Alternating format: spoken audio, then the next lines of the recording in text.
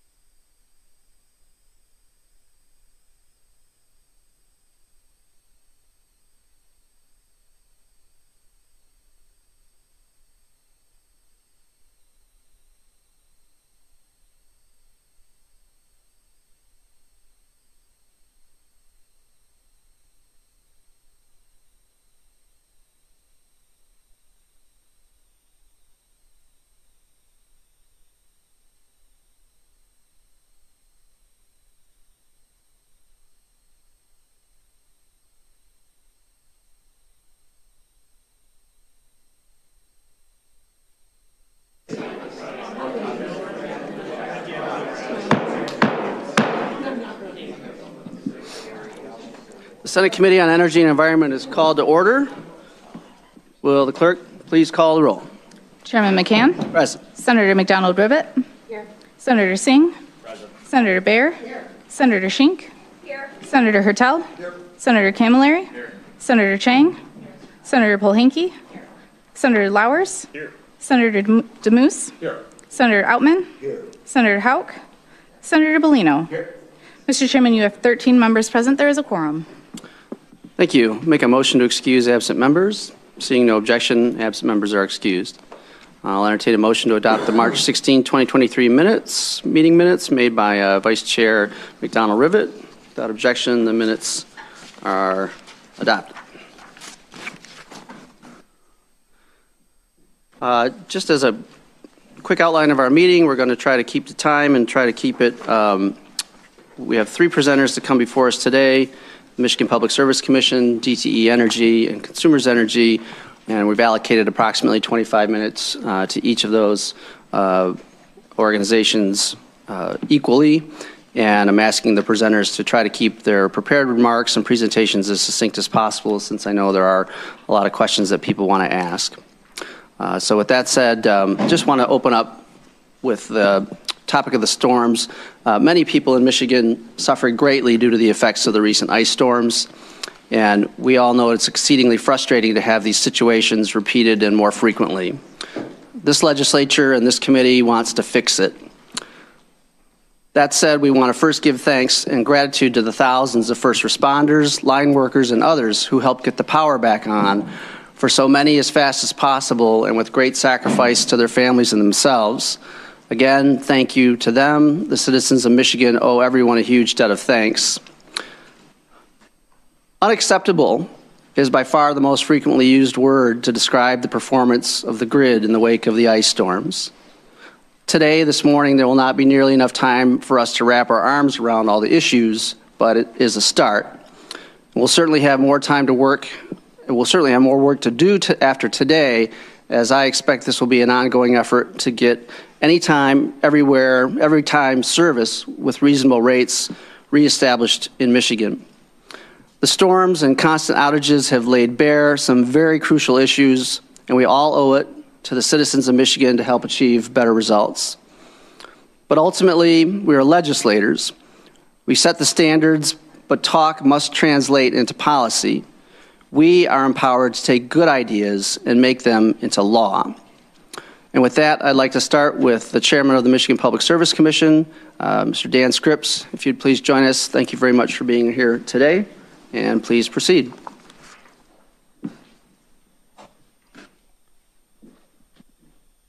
Thank you, Chairman McCann and members of the committee. Um, appreciate the opportunity to come back.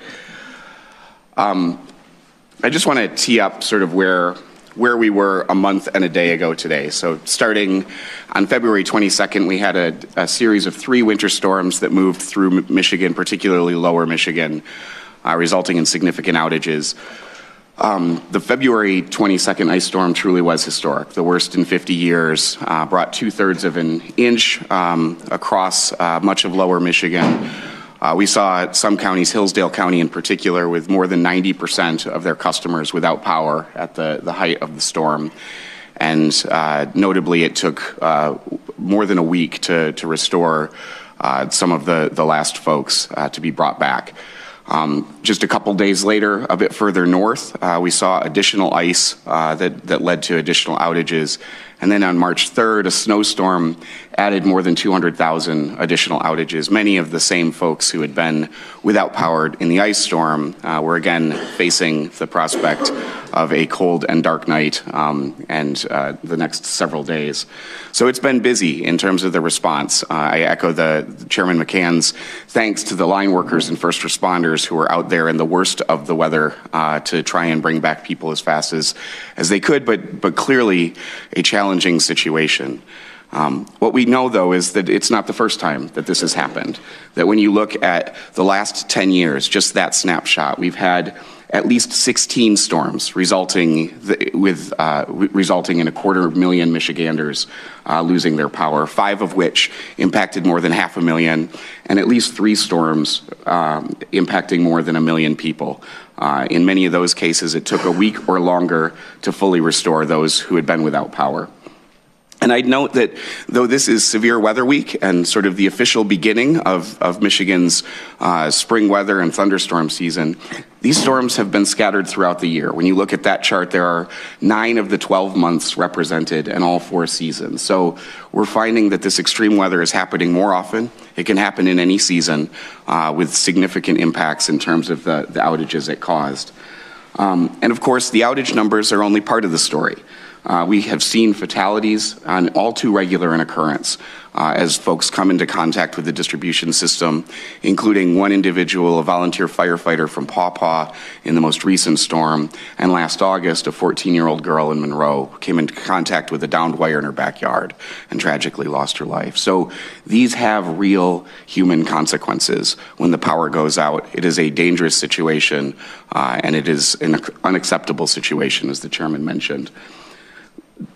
Notably, uh, these storms, even just in the last 10 years, feature a lot of worst evers or worst in 50 years. I mentioned the ice storm, the windstorm in 2017 that, that uh, brought that had more than a million outages was the worst windstorm that we've seen. The summer of 2021, uh, we saw major storm events happening more more frequently than once a week over the course of the summer. People barely got back on their feet when the next storm front rolled in. But if we're getting historic storms essentially every other year, it's hard to say that they're truly historic anymore. I think this is the new normal. And more to the point, Michigan residents don't care about storm trivia.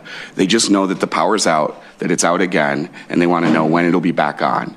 And I think that's the job that's in front of all of us is to make sure that even as extreme weather becomes more frequent and more extreme, that we have a grid that can handle the realities of the new normal.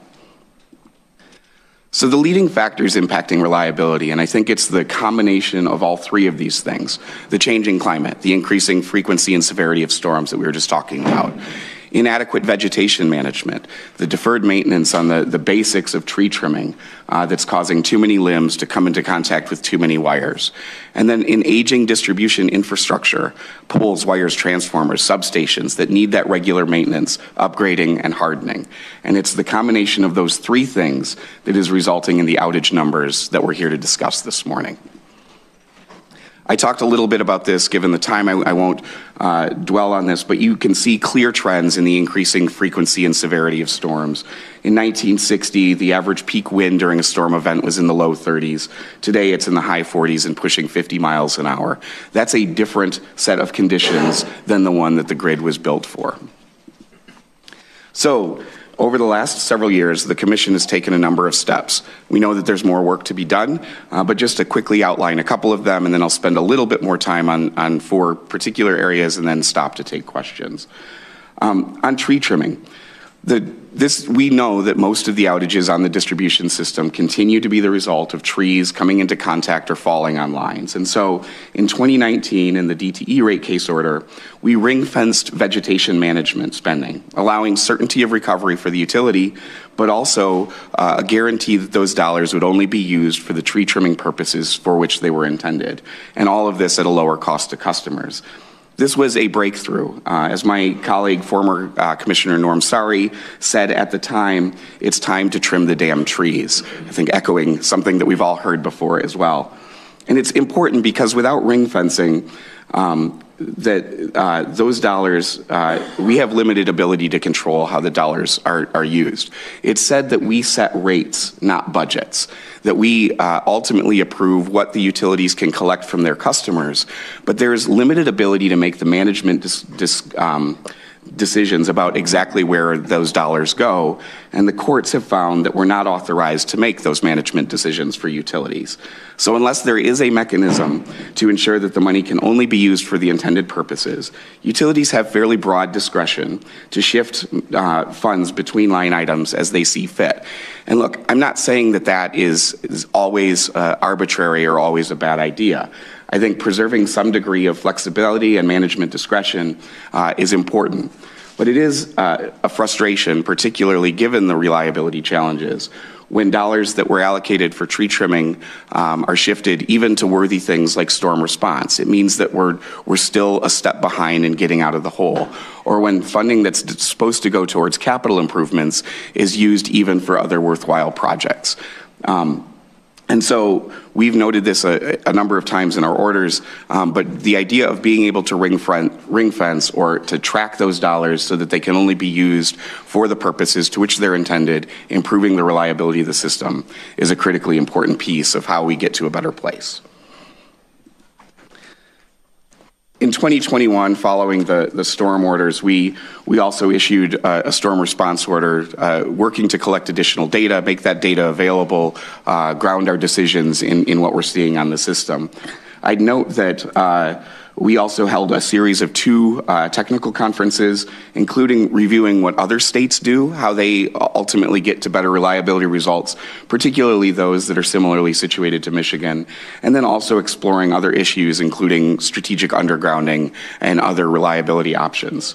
Um, we are uh, set to launch tomorrow uh, a website that will provide additional information on utility distribution system reliability, customer outages, and storm response metrics. Uh, and we're launching a second website focused on the customer, uh, providing information on how to stay safe during outage events, uh, credit information for those who are eligible, uh, and outage maps, so that really a place that, that customers can get the information that they need.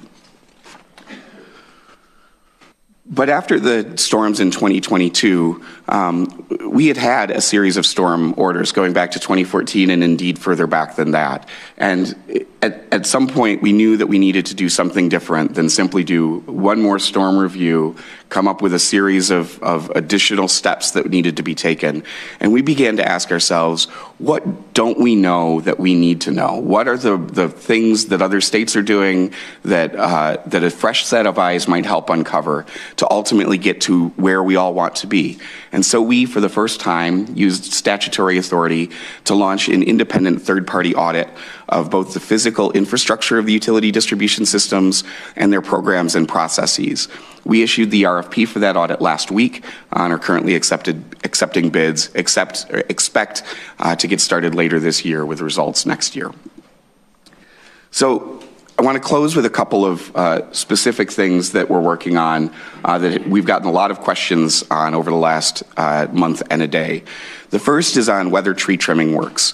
And I would say emphatically, yes. It is the single best tool that we have in the toolbox to get to a better place in terms of the number of outages, but as important, the freak or the number of customers experiencing uh, multiple outages over the course of the year and the duration of those outages. And we've seen real progress. Consumers last year spent $90.3 million on vegetation management. That's up 154% from where they were in 2015. And the results for DTE are even more striking. They spent 162 million on vegetation management last year, uh, and that's a 179% increase over the $64.7 million in 2015. And as a result of these actions, we've seen customer interruptions uh, reduced 74% in the first year of surge funding uh, in the circuits that were trimmed, uh, and the length of the outages reduced by 67% with similar results in the consumer's territory. And just to put it in graphic form, this tracks the spending in the green line uh, from 2015 uh, between the two utilities, and then the average SAIDI metrics, which is the duration of outages uh, shown by the blue bars in the blue line. So the spending's gone up. The outage numbers or the outage duration has gone down. So tree trimming does work, and we need to keep our foot on the accelerator there. We've also gotten a lot of questions on the service rules and the, the credits uh, associated with uh, violations of the service rules. So a couple of years ago now, at this point, we began to update, uh, following our 2019 statewide energy assessment, the, our service quality rules and the technical standards for electric performance. Um, these uh, reflect both a tightening of the acceptable levels of performance uh, that, that we expect to see, uh, both in the, the number of hours um, that we expect power to be restored within uh, following storm events, as well as the, the thresholds for customers experiencing multiple outages. We also worked on wire down relief requests, significantly tightening the, the time, in fact, cutting it in half for both metropolitan and non metropolitan areas. This is the amount of time that police and fire are expected to guard a line before they're relieved by utility personnel. And then, as has gotten a fair amount of attention, we've increased the credits uh, for those who uh, have been without power. Today, Customers who meet the eligibility criteria for a credit are eligible for a one-time $25 credit, and that's it. What we've done is to increase that base credit amount to $35, to add $35 for every additional day that a customer eh, remains without power once they're eligible, to index that amount to the rate of inflation, and perhaps most importantly, to make the credits automatic. Instead of having to apply and see if you're eligible, you, once you're eligible, and the utilities have this information uh, in terms of the number of hours that you've been without power, you will automatically receive that credit. These have been pending again for a number of years. We ran out of session days last year in the JCAR process. Um, I'm happy to say that you all have met a lot this uh, winter and spring. And so we've actually cleared uh, the number of joint session days earlier this month. And this uh, update for our service quality rules and technical standards is on the Commission's agenda for tomorrow's meeting. And then finally, I mentioned the utility audit, um, but this is really designed to identify solutions. What do we not know that we could ultimately use and leverage and apply in the Michigan context, including benchmarking other utilities across the Midwest that are similarly situated, that look in some ways similar to the situation that we have in Michigan. And so we're looking both at the physical assets of the, the utility infrastructure, uh, as well as the program and process, uh, whether those are sufficient for emergency preparedness, storm restoration, system maintenance, investment, and really try and uncover an additional set of solutions uh, that we can apply to ultimately get our outage numbers closer to where the people of Michigan expect and deserve. So I want to close with um, the reality that even with these efforts over the last several years, additional work is needed. One place where we see a, a, real need is on a on increasing customer resilience, and this is looking at sort of the experience of those while we continue to work to improve our outage situation. The reality is that that's not going to happen overnight. And so, how do we, particularly for critical facilities, for uh, care homes, for hospitals, for vulnerable individuals who are on oxygen or need insulin that, that is maintained at a, within a specified temperature range, or have CPAP machines for sleep apnea. How do we make sure that those uh, most vulnerable individuals and the most critical facilities on the system have additional resilience even as we work to rebuild the system? And we'll have a technical conference on that that we'll be announcing shortly. We need to continue the focus on accelerated vegetation management cycles. Tree trimming works, but we've got to continue to see that, that effort through and get onto a tighter cycle continued work on distribution planning and performance-based rate making. This is not a new thing. It was authorized for us in 2016 by the legislature.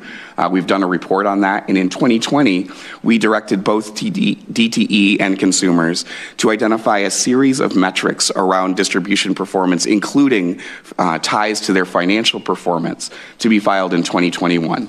They did so, and after taking additional uh, input from stakeholders on their proposals, in 2022 we laid out next steps, including uh, a specific work group to consider these performance-based regulation uh, issues um, and the expectation that we would uh, launch that as sort of a capstone effort to our multi-year My Power Grid grid modernization effort. And that, uh, that effort will be uh, launched this spring as well. Um, we also need to leverage technology, the customer communications, particularly given the, the automatic metering infrastructure, the smart meters that are out on the system, clearly wasn't where it needed to be in this last system. People being told that they were reconnected when they weren't, and, and that sort of thing. But that technology on the system, with, with some additional things that have been developed in the last 10 years, can ultimately help in reducing the duration of outages as well. Isolating where the real trouble is, and then through circuits and, and uh, repowering, bring most of the rest of the people back uh, who are on that circuit because they're not actually out. It's just a couple of folks, but if we can isolate where the trouble is and then reroute the electricity to bring others back on, that can, I think, significantly reduce the duration of a number of these outages. And then continue to evaluate additional options, including strategic undergrounding, grid hardening, and the grid upgrades, particularly for our old system. There, this is in focus today because of the outage challenges and the safety challenges that we've seen. And we've seen them all too clearly, not only in this last storm, but over the last 10 years. But we also know that the grid's changing and that we're expecting more of our distribution grid than we ever have before as we electrify transportation and potentially other end uses. And I will tell you that the Commission is focused both on getting to a better place in terms of the reliability that people expect and deserve, as well as making sure that our grid is ready to handle the challenges that are being asked of it. And with that, I'm happy to ask, answer any questions. Thank you very much, uh, Mr. Scripps. Um, we'll come back to the audit for a moment. Um, just the timeline on that, um, you, the, the RFP hasn't even been met yet, is that my understanding? It's been issued. It went out last Monday. Um, there's a, uh, several weeks where we're accepting bids and then they'll have to be evaluated with, with work starting later this year. So, uh, but it was ordered, or your determination to start that audit process was, did you say October? of- October of last year. So we're in March, and then when will that actually get back to us? I think it will, well, the audit closes uh, next month, and then, or the RFP process, sorry, closes next month, and then we hope to, to start as soon as we can after that. It's ultimately a, a process because it's uh, above a certain dollar threshold, or we expect it will be, um, that it's not just a uh, MPSC thing or even a, D, or a, LARA thing, the agency with, in which we're housed, or the department, uh, but ultimately a DTMB uh, piece that involves the administrative board. So um, I'll tell you that we're working to, to shorten that, but I will also say um, that this is the first time that we've ever done it. So once we decided to use the statutory authority that, that we have been granted, but that we haven't used, um, we needed to essentially start from, we didn't have something that we could simply plug and play. So uh, understanding what the process would be, understanding what we wanted to cover in the audit, the questions to be asked. Um, we want this to be a comprehensive effort, but, but it has taken longer than, than I would have liked. Senator Bayer. Thank you, Mr. Chair, and thank you for coming back to see us again. Um, You're so knowledgeable. Uh, It's it's uh, nice to be able to talk with you. So, but one of the things I heard you talking about was the spending on tree trimming, because obviously that does have an impact. Um, So I was just thinking about last year, $163 million in in tree trimming is, is- seems like a big number. Um, DTE had $1.1 billion in profits, so that's seven times what they spent on trying to build reliability into the system. So when you talk about flexibility in defining how to direct their funding, is there a way we can redirect, whether with you or with laws, to make sure that their profitability isn't so grotesque, that the reliability money is so minuscule as to almost not be noticed in comparison? I, I think one of the, the goals of the um, performance-based ratemaking regulation, the effort that we've been working on for the last couple of years is, is to better align the, the utility financial performance with the results that, that their customers are seeing from, from the system. And we've been, I think, fairly successful at that in some other places on energy efficiency spending, for example, that we found something that's made us best in class in, in Michigan. Uh, that, but where they also have uh, financial upside for not only meeting statutory standards but exceeding them. And um, so I think there are models that we can use and, and be thoughtful about how we implement. But I think um, where we've seen the most dramatic improvements in other places is where we can ultimately get everybody pointed in the same direction. That how the utility does best financially is how their customers do best uh, from a reliability standpoint. And I think that's that's the goal that we're looking at. Yeah, well, but we have seen reports, and I know you're doing a new one, which is great. I mean, our utility, our, our monopoly DTE is um, got the lowest scores in reliability and the highest scores in cost to customer around the country. Sorry, didn't mean to be that adamant. No. Um, But lowest cost, of you know, lowest ratings for performance, highest cost to customers, and we still haven't been able to do anything about their spending on making it more reliable. Do you need to change something, or do we need to change the laws to make this happen? There's probably room for both. Um, I think the we I think we have the authority that we need around performance-based um, regulation. Um, but if there were sort of specific standards that you wanted to direct us to to adhere to or to implement, I, th- I think we could do that. Um, we have clear statutory authority on resource planning on the generation side, but the reality is that we actually spend more on the distribution side, and all of the outages are on the distribution side at this point. And so, looking at how we do distribution planning and whether the five year plans that currently need to be filed but aren't sort of formally reviewed or approved or, or anything else could become the basis for, for those investments um, might be something else to look at. Thank you. Senator Bellino. Thank you, Mr. Chair. Uh, Thank you for coming to see us. Dan? Number two, inadequate tree vegetation. I want. me babe. I- Do I have 30 seconds to tell a story about my city, sir? 25. 20 seconds. They did a study on our, uh, our silver maples that were planted in the early 19th century in Monroe. We used to be known as the Floral City. They're beautiful trees until they get 110 to 120 years old and they fall like sticks all the time. And that's the biggest problem in my area. Uh, I've been out of power a lot the last 25 years in my home, all caused by a tree behind my neighbor's house in a, in a yard, in a lot that the owner did not want to take down. And DT couldn't go down and trim it because they weren't allowed to. So if we want to do tree re- vegetation, and you mentioned it, Mr. Chair, maybe we should create a law that says if this vegetation is going to hurt the people around you because it may fall and put power out, that DTE or consumers has the ability to trim it up. That's one of the problems. People went nuts in my city when the city wanted to start taking some of these old ma- uh, the silver maples down and plant new trees, and they stopped it.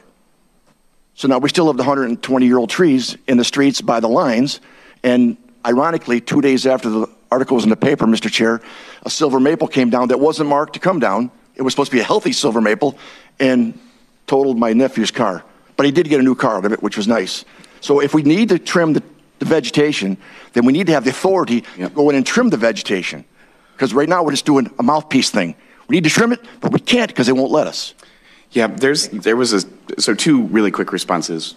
There was a story in the Lansing State Journal yesterday on the experience that Lansing Board of Water and Light had, and if you remember back to 2013, the ice storm that happened, and it happened for everybody, but it was particularly bad here. Um, and they adopted a strategy that they were going to be very aggressive in trimming trees. They haven't made a lot of friends as a result, but their outage numbers are much better. And so there is a challenge. People want to keep their trees, but they want the reliability. But there's a, a right tree, right place philosophy here that um, trees are beautiful, but they can't interfere with the, the grid reliability. And I think that's part of what we've got to look at. The other piece, um, to your point, that there is a lot of frustration. We've done three town halls this week, eight hours of testimony, 114 comments, and a lot of them were focused on the frustration of the service drop between the pole and the, the home um, being the, the responsibility of the, the homeowner, which is true. A lot of people don't understand that, but it is true. And so I think, but that's also a place where there are a lot of outages and where there are a lot of single outages where it's not going out and doing some work can bring a thousand people on or a hundred people on. It's several hours of people work to bring one person back on. And so uh, that may be a place where we need to, to take a look at either authority, undergrounding, whatever it needs to be. But in terms of that service drop between the pole and the home, because the after the storm hits, when the wire's pulled down, then the utility does have to go out and do some of the restoration work, not actually the electrical to connect it back to the house, but the, the trimming and restoration to, to get that in a position where it can be hooked back up. So we're still spending the time. It's just we're doing it after the fact when it's more expensive, more dangerous, and more difficult. Thanks. Senator Hertel. Thank you, Mr. Chair, and thank you, Dan, for being here today, and thank you for all the town halls you've done this week, uh, allowing the public to come in and share their stories uh, about how they were impacted during this most recent outage, but also over recent years. Uh, You know, I was living part-time here in Lansing in 2013 when that ice storm hit here, uh, and uh, a family home was uh, severely damaged with burst pipes because of how long that outage lasted. And obviously, those temp- the temperatures then were, I think, below 10 degrees uh, during that outage. Uh, And then now in the community that I live in, and most of my district was hit very hard by this past ice storm and the windstorm last summer. Um, You know, in looking at what some other states have done and investing in their grids, and uh, there's no doubt that certain areas of our state and my community, uh, which is an older community, uh, they, the grid is just outdated, right? The infrastructure is old and it needs to be updated. Um, and in doing that, and when we look at, as you said, strategic undergrounding to make sure we get some of those wires that are being impacted today underground and protect them better, but uh, tree trimming, but grid automation seems to be the place where I think we have the best opportunity to try to isolate those outages, um, affect less people, and make repairs much quicker. Uh, There was an outage in my area this past storm that, frankly, I, I mean, this is all anecdotal, but there were employees of the utility walking around looking for the outage for hours, trying to figure out where it was. Uh, and that was one of the, lo- the longest outages in my community, uh, in the Gro- Grosse Pointe area. How do we balance, as, my understanding is a very small portion of the grid is automated today. Uh, and it's a large investment to get us to the point where we probably need to be. Uh, How do we manage or balance those large investments that need to be made with rate increases that are impacting people across all of our communities today? Welcome to the world of the Public Service Commission. so, It, you're absolutely right. And I mean, we've seen other utilities. The utility that serves Chicago, for example, has automated a significantly larger amount of their system. They get similar storms to some degree. I mean, our weather's the sim- similar, but they can, through sort of sensors and reclosers, isolate the damage on the system and get most of the rest of the folks uh, restored, sometimes without even sort of sending a crew out. And so, um, but that takes money. The 4.8 kilovolt system that's in your uh, district and large parts of Detroit, the oldest part of the system and the most dangerous part of the system, clearly needs to be upgraded. And we've taken some steps to sort of provide certainty as you're going down this path to to make sure that that you're doing it and and um, and making the investments with, with certainty of recovery. But that's really expensive. And then tree trimming, yeah, I think is reasonably affordable, but, but those, you know, those numbers are hundreds of millions of dollars as well. And so it is that balance of, of trying to sort of, and I think it's the reason that the sort of consideration of alternatives and the distribution planning process, looking at sort of not what you could do or the laundry list of ideas, but how do you optimize those in the most cost-effective manner, getting the most uh, additional uh, reliability and resilience for the dollars that are being invested in the system. I'm not going to tell you that it's easy or that there's a straightforward answer, but that's that is essentially what we do, both in the individual investment uh, evaluations contained in rate cases and in the, in the five-year distribution plans that, again, we ask for. We don't have authority to approve or anything else, but that gives us greater transparency on how the individual investments sought in a particular rate case tie into a broader, at least five-year strategy. But, but that's the exact right question. So again, I, with apologies, I know we have a couple other questions in the queue, but I want to thank you, uh, Chairman Scripps, for coming before us today. And I know that uh, it probably won't be the last time, and um, uh, also certainly members can avail themselves to you any time as, as well. So thank Yeah, you very absolutely. much. And if I didn't get to your question, Senator Shink, um, I, please give me a call. I'm happy to, to talk. I need to leave. I've got to talk to MISO about the other side of reliability, um, but Rika and Mike are going to stay. So thank you. Thanks. Uh, Next, we have uh, Trevor Lauer, uh, President of DTE Electric. Um, Thank you for being here today, Mr. Lauer, and as we've said, we have, you know, constrained time, and so um, please proceed. Yeah, thank you, Chairman, and good morning, everybody. Uh, My name is Trevor Lauer. I lead the electric company with DTE. Appreciate the opportunity to be here this morning and talk about the weather events. We submit written testimony. I will keep my verbal testimony to a a minimum so we can go into the Q and A portion of it. Uh, A couple things that I would start with. First, uh, the deepest apology from myself and all 10,000 employees of DTE to our customers that lost power in our community. By no means is this the experience that we would want for our customers. Uh, I can talk about the weather, I do not need to repeat what the chairman said. Uh, What we're seeing from a climate perspective is fundamentally changed. It's the reason why we develop our distribution planning and why we have massively accelerated our investment in the grid since 2017. Uh, We will and remain an advocate, continue to invest in separation. Your- Is is your mic on, sir, Mr. Lauer? I'm sorry. Let's check that. Oh, I didn't press the button. No. So I'm really sorry about that. Thank Did you you. guys hear me, or would you like me to start over? I think you said a couple of very salient things I'd like to have you probably just repeat. Okay, well, I- I'll start over just first by apologizing to the customers and the communities for the outages that we had. Um, Neither myself nor any of the employees at at DTE would wish any of our customers have an outage. This is not the the service that we want for our customers. I can talk about ice storms, I can talk about hurricane force winds. At the end of the day, the climate has changed. We need to change our grid with it. That's our responsibility. We recognize that, and we fully accept the responsibility we have. Um, I would like to thank you, Chairman, for your recognition of the employees uh, during the time. We ask our employees to work for 16 hours and then eight hours off. We had multiple employees, thousands of employees that worked for 14 straight days.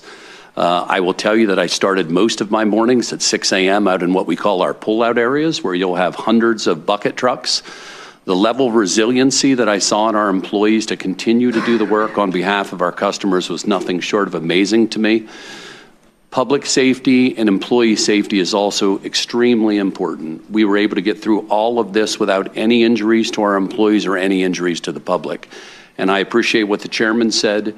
Uh, operating a high voltage electric system can be very dangerous for the public and for our employees. So I was very proud that we were able to get through the, the issues.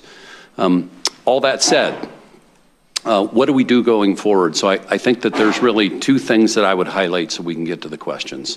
First, we have developed a distribution grid plan, and the chairman talked about that. Our distribution grid plan, I would say, high level, does two things. It lays out a five-year spending pattern for the electric utility on what are we going to invest in. It lays out the categories, and it lays out the metrics on why we're going to do that. It also lays out scenario planning for a 15-year period on what we think could happen.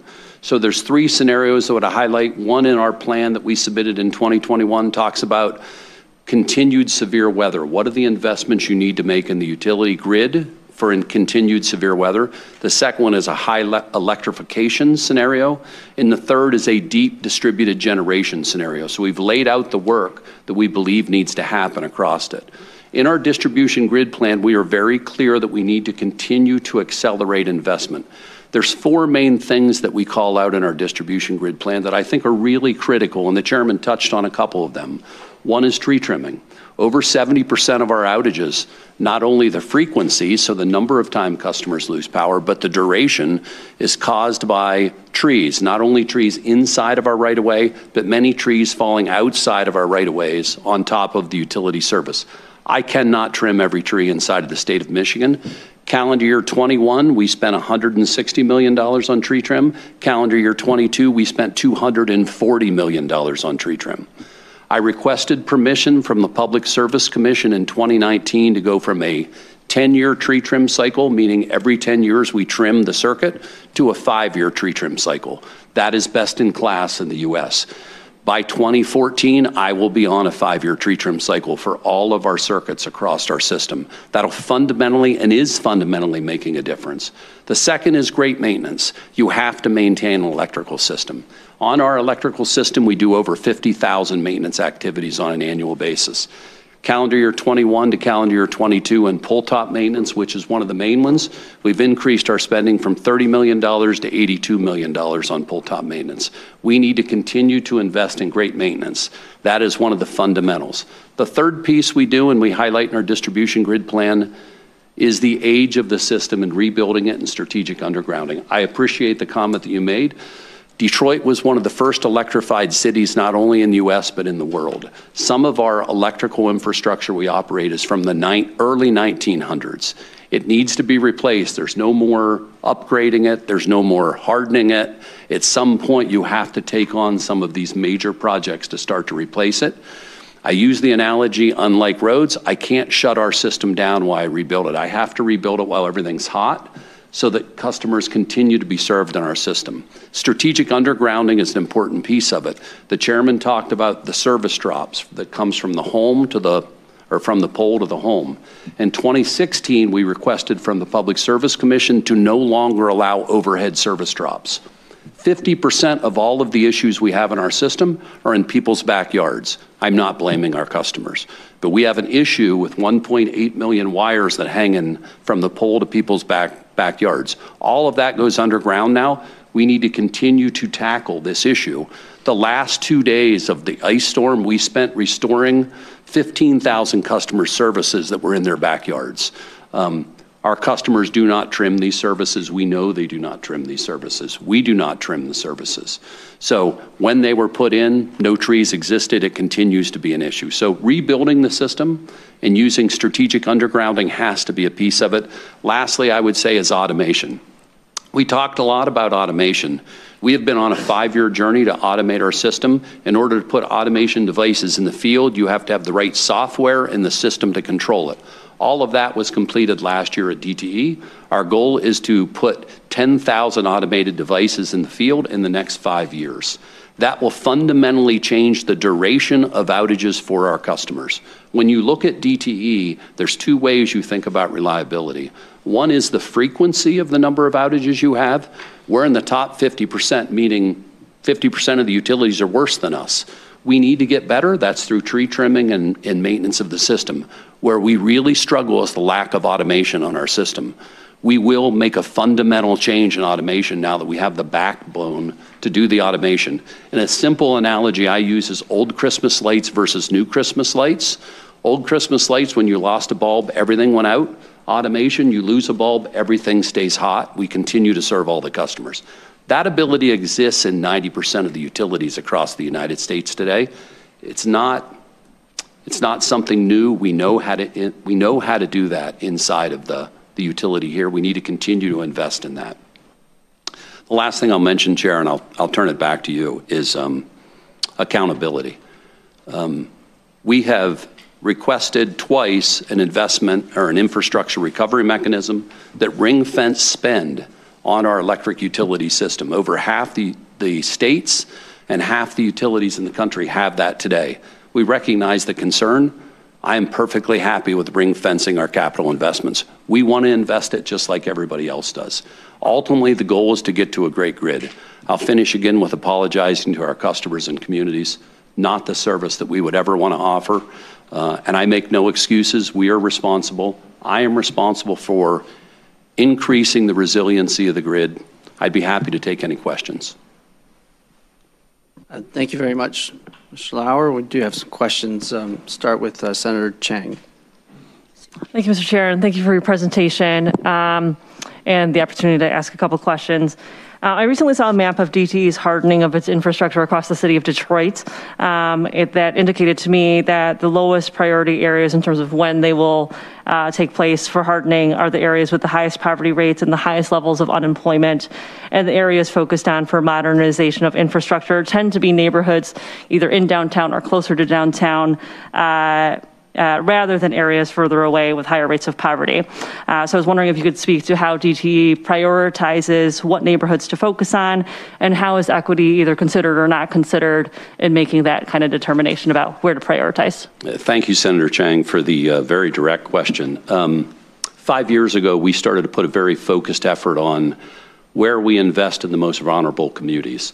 As the MyEJ tool came out, we have backcast all of those investments against the tool.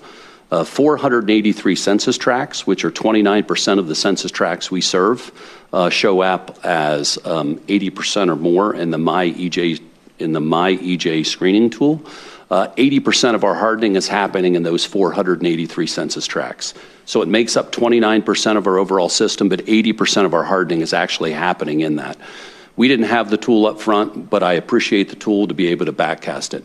We've had a very clear focus on our most vulnerable communities, and we will continue to have it. It is not currently part of our um, planning process, um, but we do use vulnerable communities as part of our planning process for investments. I guess just a quick follow up on that, and then another question. Um, so I'm hearing that you're prioritizing more now than you previously did. Now that the tool is available, um, I'm guess I'm wondering, are you able to shift, or are, is there information that you can publicly share around how you are shifting the time frame of some of the communities that believe that they are sort of a couple years later? Are you shifting any of that now using the EJ screening tool? And then if I could, just the the other question that I had was. Uh, there was a recent Bridge Michigan article uh, highlighting that DTE paid out $700 million to investors in 2022, uh, but then paused hiring and maintenance in order to hit revenue targets. And that article pointed out that job openings went unfilled, contractors were eliminated, and overtime was limited, and maintenance work was postponed. And then, as we know, in February, more than 450,000 DTE customers lost power. Um, so I was wondering if you could speak to how DTE prioritizes payouts uh, to investors versus making improvements to the grid or keeping residential rates more affordable. Yeah, thank you, Senator Chang. So two questions there. I want to I want to unpack both of them. So first, um, we haven't done anything different with the screening tool. Uh, we made those adjustments well before the screening tool came out. So 80% of our hardening work today goes to the communities that have been identified by the MyEJ screening tool, and that was done well before the tool ever existed. So I'm pleased to say that as we backcast and look at that, that we were making the right investments in the right community, but we commit to continue to use the tool because it's the right thing to do. Uh, in, re in regards to our stakeholders in the Bridge article, while I did not read the article, we talk about four stakeholders at DTE. We start with our employees because we think our employee base is the most important employee, uh, the most important stakeholder we have. And what DTE has done is we've made a compact with our employees, and unlike many com companies, not only here in Michigan but across the country, we're not going to lay our employees off when we run into difficulties. Uh, the second is our customers. If we do the right thing for our employees, we fundamentally believe that our employees will do the right thing for our customers. All of our employees live in our communities. Our communities are our third most important stakeholder that we talk about. And fourth are investors, and they do have an important role. So the Bridge article, I understand, highlighted a investor slide that our CFO used with investors. And it talked about deferring some maintenance. I want to address it very clearly. From 21 to 22, we increased maintenance on our distribution system by over $120 million. I have asked our team to pause a handful of maintenance activities going into 2023. None of those have happened yet. I'll give you two great examples of what they are. Number one, a maintenance activity we do at our substations is how often we mow our substations. I've asked our team to go from two every two weeks to every six weeks in our substations. The third is all, or the second activity that I would highlight is we hire summer students to um, inspect underground transformer pad mounts. They're concrete bases. We have 50,000 of these. We look at 20% of them every year. We did not hire summer students this year. Neither of these activities cause any concern for me. We will not pause any maintenance activity that causes a safety issue for our employees or our public or will cause reliability issues. We could not have been more clear with that, and I believe our CFO said that uh, in the actual in the actual uh, statement when he went through it. So I hope I answered your question, Senator. Thank you. Thank you, Senator Shink. Thank you. Thank you for coming today. And of course, I want to thank all the DTE employees that were out working on the outage. My family was out of power for, for four days. Um, we've talked about the, the profits, about a billion dollars in profits were posted during the, the ice storm outage. Your CEO makes over $10 million a year. You recently put in a request to the MPSC for the largest rate increase in state history, about 622 million. DTE has increased rates four times in the last five years, totaling over 800 million in increases, and we're still we have regular outages. I would argue that there's not really any increase in um, reliability from those from from those rate increases. You regularly have a return on equity which is about 10 percent. Um, would you be willing to reduce that rate of return to invest in more reliability? And before you answer, I just want to say um, many companies want to offer a high rate of return to their investors. When their products suffer, typically the rate of return suffers, and I don't see that happening here. Thank you. Um, thank you, Senator. I'll, uh, I'm going to try to answer all the questions, so please tell me if I don't. Um, I'll start with the rate of return. The rate of return is set by the Michigan Public Service Commission, not by the utilities. The rate of return is designed to reflect the riskiness of a utility utilities that have an infrastructure recovery mechanisms and other uh, tracking mechanisms tend to have lower rates of returns across the country because they're seen as less risky to attract capital. Our dividend payout, which you reflected, or somebody asked a question earlier on, is 3.5%, which is in the middle of all the utilities in the United States. Again, it's very low relative to other companies that pay a dividend because we're seen as a less risky investment. Other than government bonds, most people will invest in utilities. Two thirds of the profitability of a company like DTE or most utilities goes back to the investors because we borrow money every year to run our operations. Uh, the other third of our profitability goes directly back into operating our system, into uh, bettering our system through what you call retained earnings. So two thirds to the to the shareholders and a third goes back back into the customers. Um, the second piece, or the the other question that you ask, is around uh, reliability. Uh, I can only tell you where we make the investments. The investments continue to work. We have continued to invest in tree trimming, pole top maintenance, and other maintenance practices. When you have a large electric utility system, the first thing you need to do is stabilize it. So as we see the weather coming, we are stabilizing the system. Utilities that we've benchmarked with in Florida and the Gulf Coast have been seeing this weather and they've been stabilizing and investing in their system for over two decades. We are in the first six years of starting to invest in our system. I want to make no mistake that the investment needs to continue. Uh, that is how you get great operating. We can make strategic investments like automation, which will fundamentally change the duration of an outage. And I think that's something that you should hold us accountable for doing as quickly as, poss- as we possibly can. Thank you. Senator Damoose. Thank you, Mr. Chair. Thank you for taking the time to testify today. And I, I, really appreciate you taking responsibility for this. And I'm sure there are things we can do better, but let's not forget that three quarters of an inch of ice would be devastating anywhere. So you've laid out um, some great plans. I mean, this five, switching to five-year tree trimming, switching to undergrounding, these type of things. It sounds like you know things that we can do to improve the system. My question is, what can we do at the state level to help make this a reality? And what types of things would you say we should avoid that would just get in the way of such progress? Yeah, thank you for the question. So I, I uh, I've never sat where you guys sit, but I'll try. I'll do my best to answer the question. So the first thing I'd say for the the state is uh, increased energy assistance for our customers. Specifically with DT last year, we had a record amount of money that came into our our system for energy assistance. It is never enough to help our customers that struggle not only with electric bills, but gas bills, water bills, and everything else that's going on. So I'd be remiss if I didn't say that.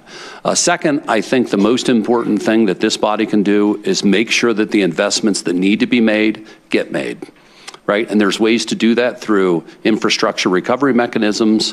Performance based rates are another area where we see um, states around the country start to lean into this. And third, and while it may seem somewhat odd, I think you need to hold the utilities accountable where they make those investments.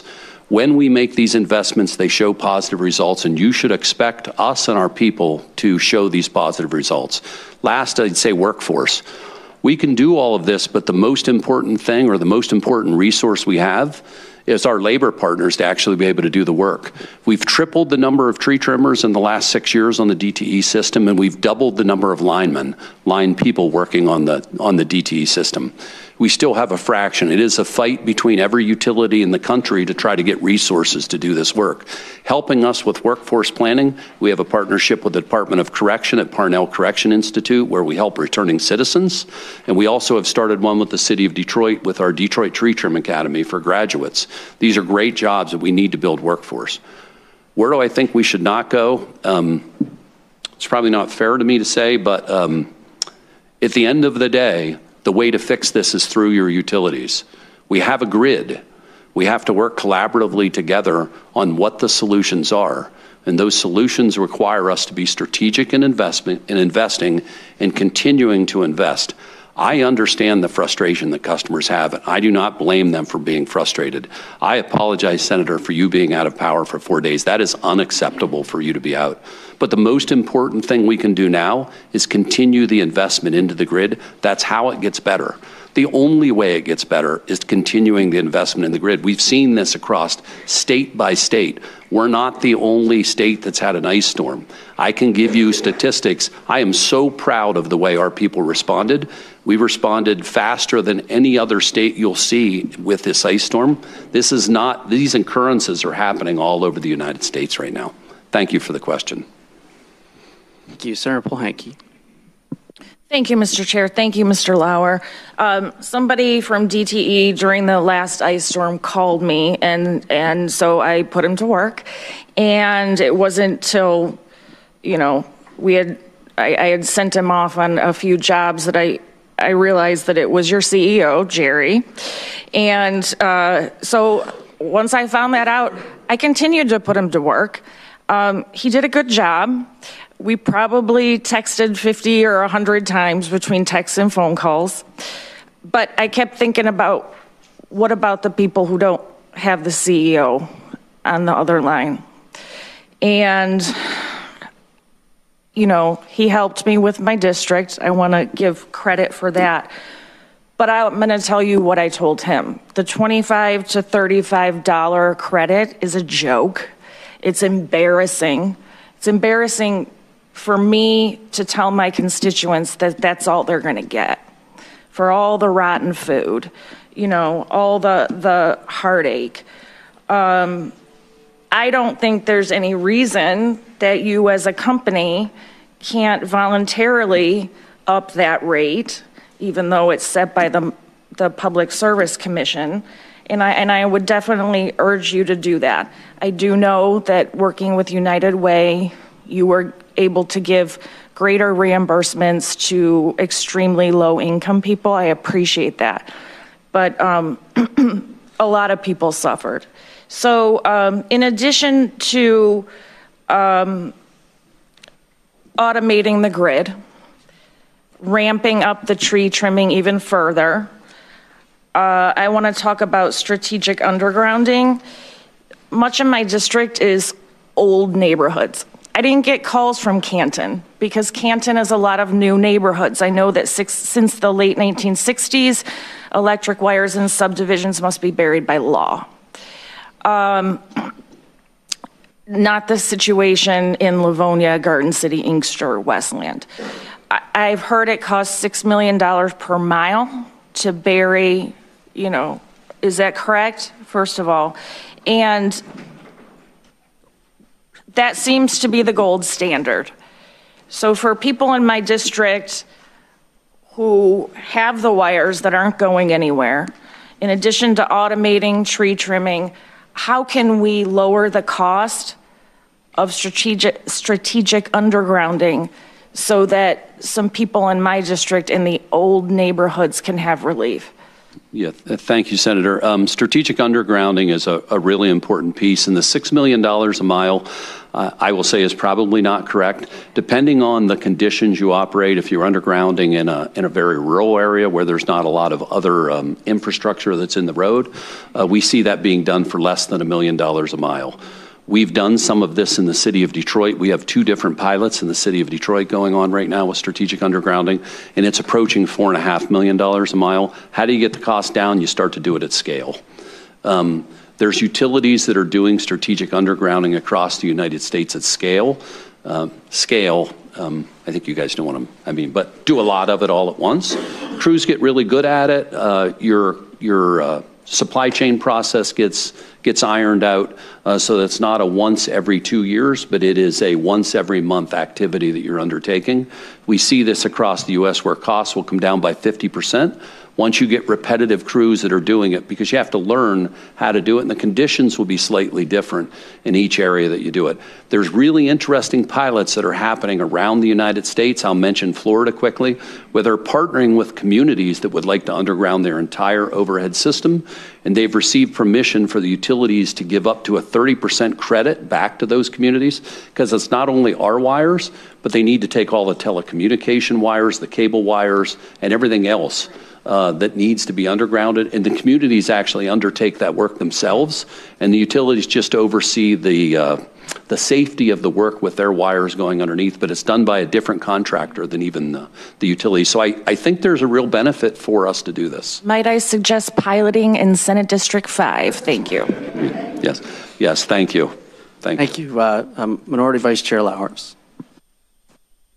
Thank you, Mr. Chairman. Um, I just I thought, uh, you know, we, we've, it seems like we're talking around a subject of profitability here a little bit, and I, I want to ask, you know, there's, you've mentioned a couple of things, uh, Mr. Lauer, and, uh, you know, uh, when you talk about infrastructure recovery or in, incentive recovery, can you explain a little more? I mean, I, I think, you know, I, I, it stands to reason that, that lower profits means less investment, so I don't know if, you know, I, I, I want to make sure that we're not sending a message that, that we think DT should have lower, mandatory lower profits or something like that. And so I have a number of questions, just, but really want to focus on explaining a little bit more what, what you mean when you say recovery.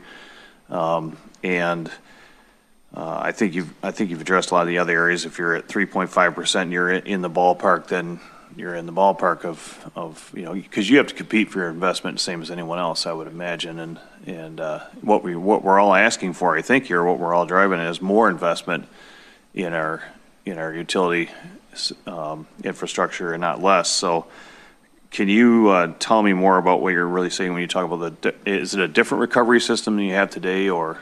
Yes. So, thank you, Senator. The uh, I apologize, I interrupted you. Um, with the uh, infrastructure recovery mechanism, the chair of the Public Service Commission was talking about ring fencing spend. So essentially the way it happens is we would come forward and say, I want to spend $100 on undergrounding something. right? And what it does is the dollars can only be used for that project, and if they're not used for that project, the dollars go back to the customers. So the way that many states have taken it, because they want to make sure that they're directing dollars into the infrastructure, and very particular infrastructure, it should, could be undergrounding, it could be tree trimming. You ring fence these dollars so that the utility does not have the opportunity to move those to other projects. I appreciate the chairman. There's many projects that come up that are critical um, critical issues that show up on an electrical system that you also need to address, we can do that also. So when I think about the infrastructure recovery, it's this concept of how do you ring fence to make sure that the most important things are being done on the electric utility, and everybody has confidence that utility is making those investments. And if we don't make those investments, the dollars go back to the customers. The other thing it requires us is to give a whole battery of reporting around each of those investments. So when we talk about performance, it gives the accountability so you can come back and say, we made those investments. Did they or did they not perform the way we expected? And it could be a district, it could be a town, it could be a whatever area you define. Um, we're very comfortable taking that process because I know when we make the investments, they do work. Um, I hope I'm answering the question, Senator. Thank you, and uh, apologies to members in the queue. We just have time for one more before we go to the next presenter, which is Senator Camilleri. Thank you, Mr. Chair, and thank you for the presentation. Um, so I'm looking at this graph from the MPSC, and it's out, you know, detailing all of the major storms, so 250,000 outages plus from 2013 until today. The thing that I'm really struggling with, and I think our residents are struggling with too, is understanding what has changed. So we are in a position where we just keep having storms continue to happen. We keep having you guys come talk about what happened and what we're going to do to change the system. And it doesn't feel like things are changing. Yes, we've seen increases in money for tree trimming, but it's not working. Uh, so where, when can we get to a place where we feel confidence in the changes that are coming and seeing the improvements in our communities? I want to just highlight some of my own district. Uh, Wayne, City of Wayne, as well as City of Trenton are older communities, post World War II suburbs that have aging infrastructure. We understand that. They were the hardest hit, and they continue to be the hardest hit. In every one of these storms, we had massive outages during that time. But then, similar to Center Polehanki, like in Brownstown Township, it's a newer post 2000s uh, community, very few power outages. And so we see the clear differences. We know the answer is undergrounding. Why don't we ever hear that as a priority for? Uh, investment going forward. Right. So um, thank you, Senator, for the question.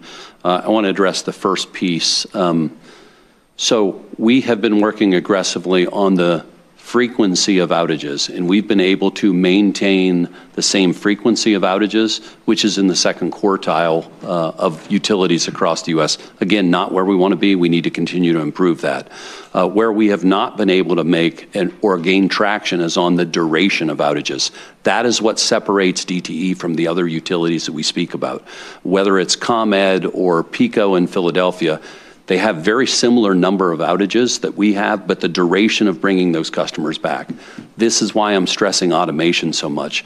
We've laid the groundwork for five years to put ourselves in a position to massively start to automate our system. Now you should hold us accountable to execute back against that investment, assuming that we're allowed to make that investment on our electric system. It is critically important. That's how customers will fundamentally see a difference. Your second question is undergrounding. I will tell you that we've brought multiple strategic undergrounding pilots forward. The job of DTE is to work with our regulators and all the other stakeholders that participate in our regulatory process so that we can receive permission to start to move forward with some of those undergrounding pilots that we'd like to do. So far, we haven't been successful on many of those, trying to get everybody to agree with us that it's important, but I will tell you it is important. Uh, and we need to continue to look at where we can strategically underground pieces of our system. Quick follow up who's, in, who's getting in the way? Uh, I wouldn't say that anybody's getting in the way, Senator. I would say uh, it's on DTE to make a better, a better argument with everybody so that they understand why it's important. Thank you. All right, thank you, senators, and um, thank you very much, Mr. Lauer. Appreciate your time. Thank you, Mr. Chairman. Today. Um, next, we have from Consumers Energy, uh, Ms. Tanya Berry and uh, Chris Laird. If you please uh, join us, and um, again, appreciate your cognizance of the time and appreciate that uh, we have probably some continued questions from members. Thank you. Thank you. Good morning, and thank you, Chair McCann and committee members, for allowing us to testify before you today. I'm Tanya Berry. I'm the Senior Vice President of Transformation and Engineering at Consumers Energy. I am responsible for our gas and electric engineering group, our quality, and our renewable energy uh, group. I am super excited about our transition to renewable energy and coming off of coal, and it's exciting to be able to lead in that way. But while we're transforming, what I think about is our 6.7 million gas and electric customers here in the state of Michigan. Anyone who knows me knows that I work and lead for all people. And I think about that every single day in every decision that I make. I, I lead with joy in a way that motivates my coworkers to, when they're out there grinding it out in extreme weather conditions for 16 hours a day, 10 days across multiple storm waves, restoring powers to our customers. I empathize deeply with our customers who experience prolonged outages as a result of the ice storm that swept through Michigan. I, along with everyone, from our call center coworkers to our CEO, responded and talked to customers with the sole intent to better understand the experience customers faced and provide transparent updates on our restoration progress. The team I work with every single day, they put the needs of the customers before their own. We often see the line workers out there restoring power, and they are amazing, and thank you for recognizing that. But I want you to know there are thousands of additional coworkers behind the scenes working to support our line men and women and reduce the restoration time for our customers. At Consumers Energy, we can't control the weather, but we can control our response. Our vision is to perform at a world class level while delivering hometown service for our customers. Whether that is a line worker on a pole, a dispatcher that's sending the next job to the crew, an employee guarding a down power line, or a forestry worker that's clearing the way for that line worker to access that pole. We show up for our customers in all weather conditions, cold, wind, and rain. Customers know we'll be there after a storm sweeps through their community. However, what they might not know is we did file an electric distribution plan in 2021 with the Michigan Public Service Commission, which included major investments in our distribution grid to improve reliability for all customers. Last year, we completed over 2,000 electric infrastructure projects, cleared over 7,000 miles of power lines, replaced 10,000 poles, upgraded 100 substations, and continued to incorporate smart technologies to improve grid operations through our electric distribution plan. This plan is a five year strategy where we define the condition of our system, we determine the investments needed, we determine where it's needed most, and how do we make dramatic reliability improvements that our customers deserve. Here are the facts in 2022. We invested above and beyond, above and beyond the amounts that were included in our rates for forestry and reliability programs. That was an additional $35 million in spend to improve our system. These aren't investments we were required to make. These are investments we knew we needed to make to make our system better. And we're already starting to see the results. In 2022, we saw 20% fewer customer outages after we made those upgrades and completed those 2,000 projects. We also reduced in half the total number of minutes customers were without power compared to the previous year and restored more than 96% of our customers in outages in less than 24 hours, demonstrating continued investments in the grid with efforts to make it more reliable are paying off. Despite those investments, there are times in which extreme weather, ice, freezing rain, and wind can create substantial outages on our system, like what happened last month. I know how frustrating it can be to be without power. This is just the beginning, and I know our customers deserve better. As we learn from this storm and future events, we will continue to work with all stakeholders to make the needed investments across the grid to ensure we are clean, reliable, and affordable for all our customers. This is our commitment. I would like to turn it over to Chris Laird, our Vice President of Electric Operations, who can speak to the company's restoration that we experienced and the challenges we had during the restoration process. Thank you, Ms. Berry. Again, Mr. Laird, we're starting to run up against tight timelines. We have Yeah, some. I'll be very brief. I'll give you guys a copy of the testimony afterward. That's okay. So, good morning. Thank you for having us. Um, I'm the Vice President of Electric Ops for Consumers. I'm responsible for operations, maintenance, and restoration activities. Been in this role since September, about 25 years here at the company.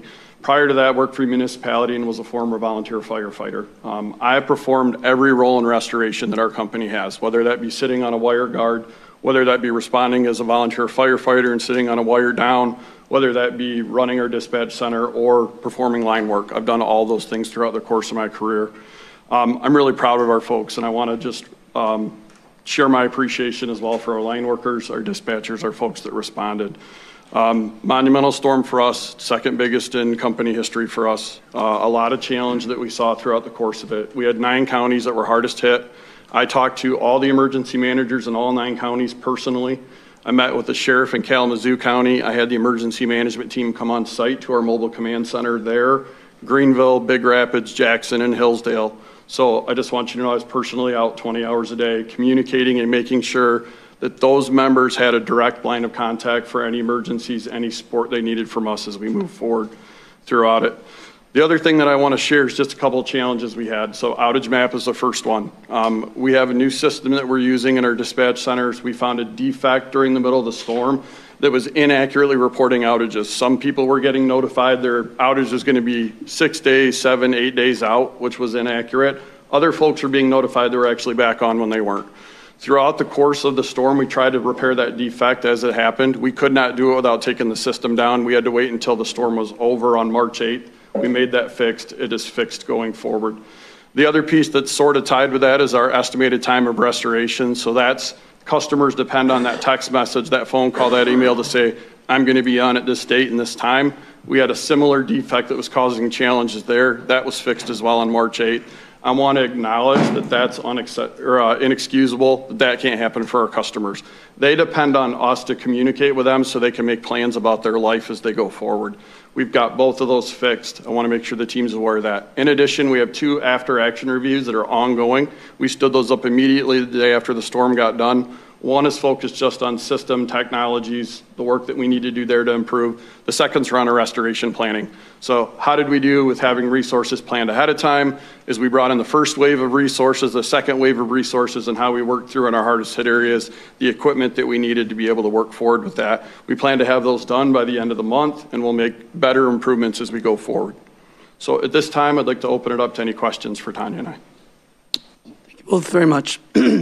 Um, So the MPSC has talked a little bit about the, um, the the audit that's going to be coming down the line. Um, And so my question is going to be, do you think uh, here today, and then we'll want to look sort of after the fact, uh, how this aligns, that your um, distribution system maintenance is going to be properly prioritized? Do you think that audit is going to, going to validate that, or are we going to have problems when that information comes in? First, we welcome the audit. Um, We do a lot of benchmarking with other utilities across the country. We're happy to have an independent independent party come in and work through that process, specifically go out in the field and validate with us. We expect there'll be some learnings from it. We welcome that feedback, and that'll help us get improved at a quicker rate. Uh, Senator. Thank you. And again, thank you to all the workers who were involved in getting the power back on. Um, one of my concerns is that many residents are extremely vulnerable. Um, they may have a CPAP machine, they, they may be in a, in, a, in a nursing home. And with repeated outages, um, I'm wondering if, if you have any kind of a plan to identify ahead of time the vulnerable people and make sure that they have um, backup generator or perhaps solar and a battery that they can flip over to support their household during a time of an outage so that they're not in danger. One of my huge concerns during this time was that if the if the temperature went down that people might die. Not everybody in my district has the money for a hotel or a restaurant or or someplace to go. And so um, given that this situation seems to be normal, I'm wondering what your plans are to protect the most vulnerable in our community. Yeah, first let me start with if we're aware and we have a system where we can code if there's anybody that needs issues with they're on a breathing machine or CPAP machine or different items like that, We code that, we know that, we can help prioritize that as we go about our restoration. We also partner with communities to have warming shelters and make sure that we're supporting in that way so that those folks can get to a place that's free of charge for them to be able to get to and be taken care of during those times. Okay, I um, would just really appreciate knowing how that, those decisions are made and how we can help you get that information, or if, if maybe you're all set, but it didn't seem like it during the outage. We can follow up with you on that process for sure. Thank you. Thank you. Senator Hauck, would you still like to ask a question? Yeah, I'm sorry. Nope. Um, I know that, first of all, I, uh, it's two-part really quick. First of all, your main lines, do the utilities own the right-of-ways to trim underneath them? And then the second one is, I know that we want to go to buried lines, but in my township, it's amazing how many times other people come in and bore into stuff. So I think that's something that we got to watch out, because if you bore into a sewer line or a water line, that's just water. I mean, it's not good, but somebody doesn't have the possibility of dying. So I just want to know how you're looking into that. Yeah, I'll answer both questions. So first, we do own the right of way in most situations to be able to do that. Our tree trimming practices are a, clearance around them. They're not what we consider ground to sky. So in an ice storm of this magnitude, anything that's not ground to sky trimming, those limbs are above our lines. They get the weight on it. They break, they fall through our lines. So we're looking at tree trimming practices as we go forward, but we do own the right of way in most situations on our main backbone lines for sure. For undergrounding, we're looking at a pilot. There's opportunities there for us as we go forward. As you've heard from others today, we're very interested in that. We have an underground workforce that we're scaling up right now and building to be able to work specifically with that equipment as we go forward. It's not an area of expertise for us on the electric system, but it's something we're definitely looking at. There's challenges with underground as well as everything goes under. There is risk from a safety perspective still where somebody could bore into that, hit an energized line be an issue, but our systems are set up to safely de-energize at that point. And the other thing is the amount of time it would take to fix that versus an overhead line. You know, I, yeah, but I'm sure you guys are looking at all. Um, Vice Chair McDonald Rivet. Hi, thanks uh, for your testimony today. Um, I'm glad you started. You talked about the workforce because that's where my question is. I know um, we keep hearing about these um, once in a lifetime, once in a generation events that seem to happen every two years now, and I am wondering how you think about and use predictive modeling related to weather and how that informs your workforce uh, decisions of you know who's working at what times, who's who who who goes on layoff, who doesn't, uh, and if you thought that had any um, implication on your reaction times in these last two storms. Yeah, we use the models for both planned work and our long-term plan, but also for um, weather that's coming in like the ice storm that we saw. So we work with a third-party DTN, we work with IBM, use their model, and then work with the National Weather Service. We have multiple calls a day leading up to events for this event as it got closer. Every day it seemed to get more, um, more impact forecasted, so we ramped up the resources we would bring in. We had all 183 of our crews at Consumers Energy engaged and another 450 crews inside the state, and we brought crews from across the state line. Even moved us forward when the second wave of weather came in and hit that Greenville, Big Rapids area to bring an additional 100 crews in through our mutual assistance process. So we're continuously looking at that as we go forward. Um, back to our long-term plans, we've added 230 line apprentices over the last two years. We have plans to add 300 more. We partner with over a dozen community colleges that work them through the first 12 months of electrical theory. Here's what it's like to climb a pole. Then they come and work for us, and we put them through a very robust training program. We have a world-class training facility in Marshall. We do a lot of great work. We have an internal climbing arena so they can get trained every day of the year, year-round. So we are looking at that. We are finding challenges with being able to get folks that want to move into that. So I know there was a question asked, how can we help? We need some help getting our youth involved in those technical skilled jobs. We need to get more folks involved in that. There's a lot of opportunity. That's who's going to help build all of this work for us as we go forward. I'm pretty sure I know the answer to this, but can you just talk about what the salary range of those folks are that you're desperately seeking for? Yeah, we can follow up with you on that if that's. Yeah, I, I, I just know that it is a really good paying Yep. job. And Yeah. so there's this, there is, there's a space to open up a line of folks that are desperately needed in really good paying jobs. Absolutely. Senator Bellino. No Thank you. stories this time. Thank, thank you, No Mr. time. Chair. And I want to double up with what Senator McDonald Rivet said. Um, I have a nephew who's a lineman, and there was a forecast of a strong storm coming in at Christmas. So my nephew gets a call. Do you want to be on call? If you sign to be on call, we'll give you $5,000. And all these linemen signed up, and it cost DT a lot of money for a storm that didn't happen, but they had the people all lined up, and he was happier than a clam. He was at Christmas dinner, he wasn't working on a line, and he got paid for it. So thank you. Absolutely. There wasn't a question in there, but that's okay. Senator Hertel. Oh, all right. All right. Anyone else? I know time's close. All right. Uh, thank you both very much for being uh, in front of us today and for answering our questions. Certainly know that you're available to our members um, at any time. And this is, again, not the end of our conversation by any means. There being no other further business before the committee, and without objection, the Senate Committee on Energy and Environment is adjourned. Thank you. No problem.